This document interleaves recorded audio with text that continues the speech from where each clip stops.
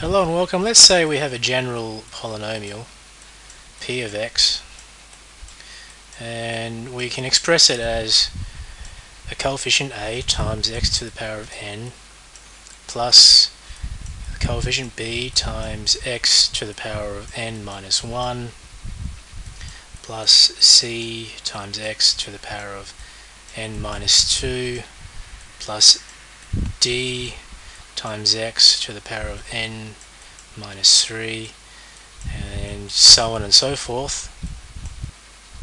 Well in my last video we established that this polynomial can be written as p of x is equal to d of x, the divisor, multiplied by q of x, the quotient, plus a remainder r of x. And this this here is called the division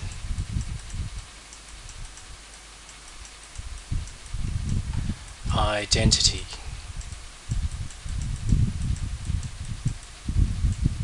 Well, let's say that we have our divisor d of x is equal to x minus a, which means d of x is linear.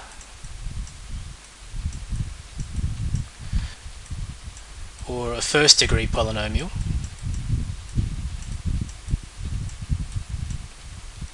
Because the index at the x here is x to the power of 1 although we don't have to write it. If that's the case then r of x the remainder is simply a constant r because the degree of r is less than the divisor. And we established that in my last video as well. So because d of x is a first degree polynomial that means r of x is a zeroth degree polynomial and a zeroth degree polynomial by definition is a constant because x is 0 is equal to 1. Alright, so that means p of x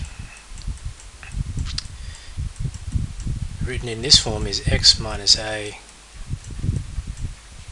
multiplied by q of x plus the constant r and conversely I can write this equation as the remainder, if it's unknown, is equal to the polynomial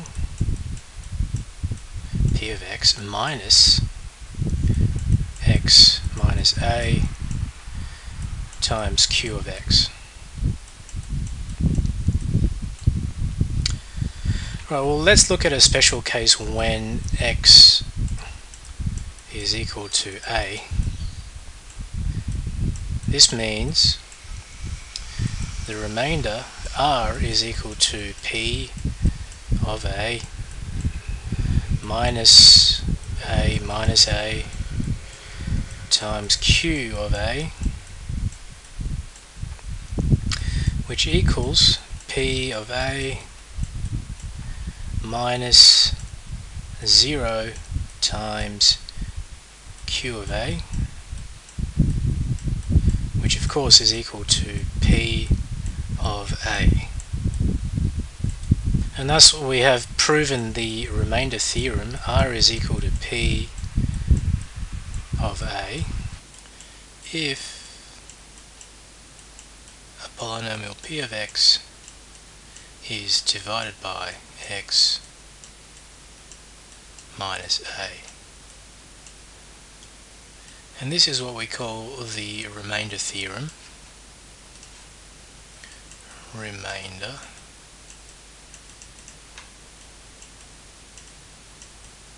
theorem.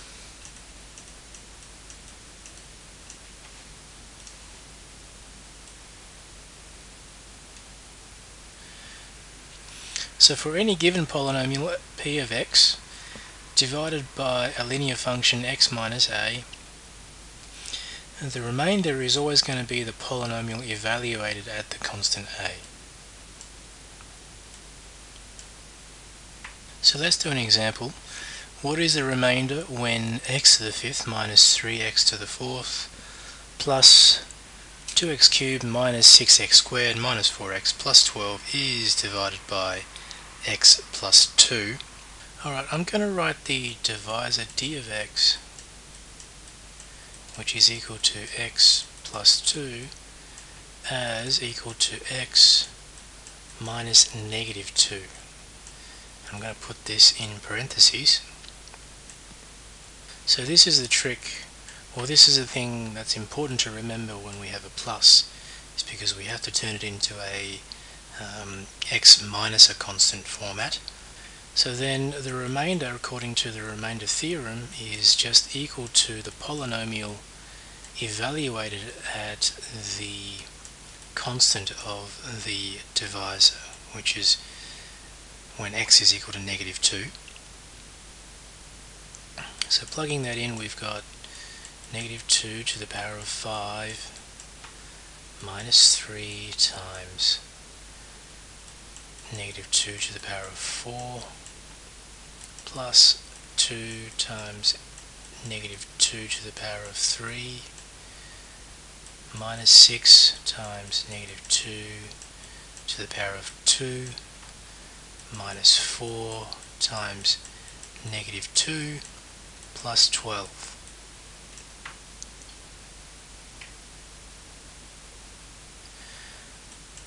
Alright, so negative 2 to the fifth is negative 32 and it's negative because the power is a odd number. Minus 3 times well negative 2 to the fourth is 16 16 times 3 is 48 and because we have an even number here, negative 2 to the power of 4 is positive 16. Negative 2 to the power of 3 is negative 8 times 2 is give us negative 16. Negative 2 squared is 4 times 6 is 24, so minus 24. Negative 4 times negative 2, that's going to give us a positive 8 and plus 12. Alright, let's see how my mental arithmetic is. So negative 32 minus 48 is going to give us negative 80. Negative 80 minus 16 is negative 96. Negative 96 minus 24 is negative 110 sorry 120 plus 8 is 112 minus 112 and plus 12 is minus 100 alright let's do another example. When the polynomial p of x is divided by x plus 1 times x minus 3 the remainder is 2x plus 7 what is the remainder when polynomial p of x is divided by x minus 3? Okay, to do this one I'm going to write out the division identity.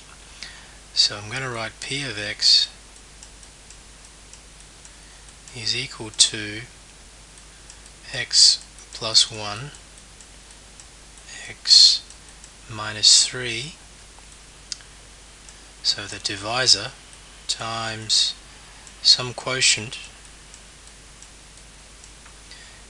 plus 2 points sorry 2x plus 7 which is the remainder. Right now what I'm going to do is multiply this x plus 1 term into the q of x.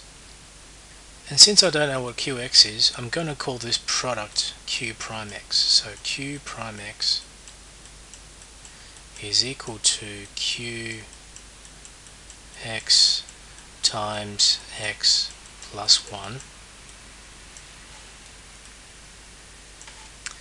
so I'm going to rewrite p of x is equal to x minus 3 so I'm going to write p of x is equal to x minus 3 times q prime x plus 2x plus 7.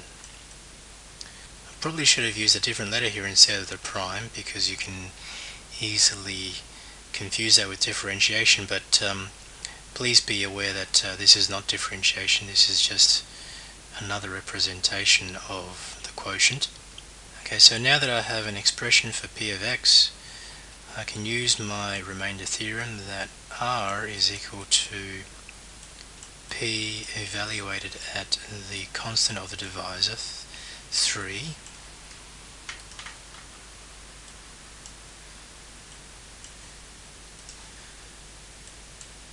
So that is equal to 3 minus 3 times q prime of 3 plus 2 times 3 plus 7. Well, the front term is going to go to 0.